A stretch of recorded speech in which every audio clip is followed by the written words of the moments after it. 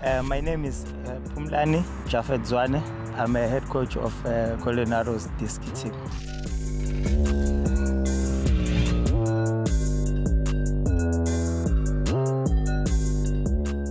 It's been a, a good season so far, although it's got ups and downs, you understand. Mostly we have players, others we took them from rural areas, they haven't been coached before, and you know, so you have to to make them gel. You have to show them the styles. You have to coach them and everything. So I think they are coming up well.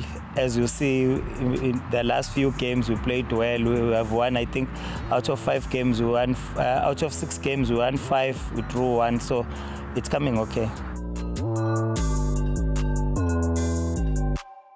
This season we have won almost like with the, the, top five, I think we have beaten all of the top five teams in the league. But when we are playing with uh, those so-called smaller teams or the teams that are not doing well, we fail to get maximum points. I think that's what makes us to be where we are in the log. As I told you before, some of them they haven't been coached properly. So you have to make sure that you coach them. You have to make sure that uh, fitness-wise they are fit. The other thing is how to treat yourself as a professional. You understand what to eat and not to eat, what to do and not to eat before the game. So that make it difficult for young players. It's overwhelming the problem that we had.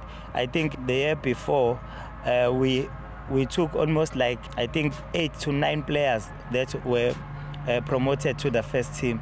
So I came with the young boys and then some of the elder players they are helping us for us to achieve uh, to be on the um, on the top eight. So it's very nice. It's very nice. Obviously, um, the the head coach of uh, uh, Golden Arrows is waiting for the players who are coming from here. So we have to make sure that everything that is needed in a player or when a player is playing in the Premier League, we are supposed to show them and make sure that they know everything that they are supposed to know.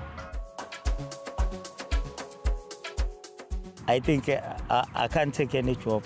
I think I love what I'm doing at the moment.